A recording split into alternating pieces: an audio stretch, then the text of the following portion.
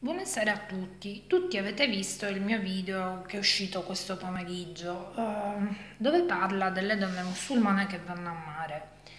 E molti non sanno che i fondamentalisti hanno addirittura vietato alle donne di andare a mare, quindi non ci possono andare né con burchini né senza.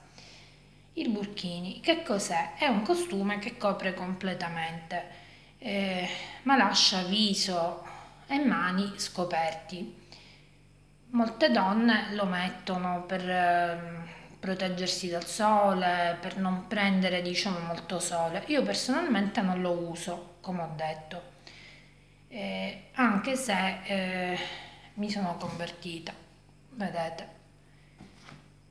L'Islam del Messia. Sono convinta che il Messia deve venire presto su questa terra e instaurare il suo regno, come è scritto nella Bibbia e nel Corano.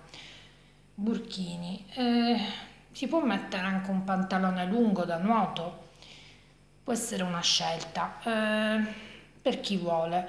Non, non, si è obbligati a mettere il bikini, questa è una grossa sciocchezza. Eh, chi vieta i burchini in realtà fa un regalo ai fondamentalisti e neanche lo sa. E questo è il problema.